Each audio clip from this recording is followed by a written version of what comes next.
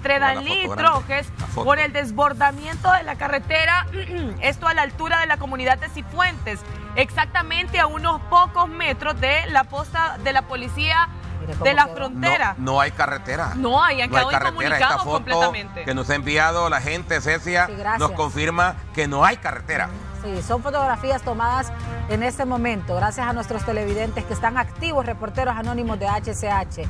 Esto es en Trojes Dalní. Sí, esto es en Trojes Dalní, exactamente en el sector de Cifuentes. Han quedado incomunicados producto de las fuertes lluvias que han estado cayendo en las últimas horas ahí en la zona oriental. Ya se hundió este tramo.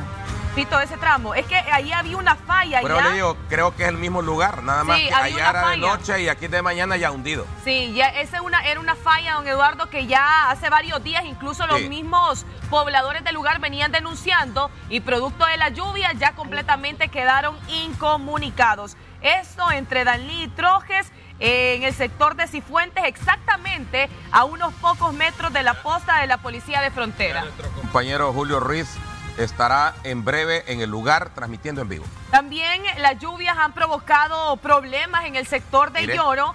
Sí. Mire, todo esto es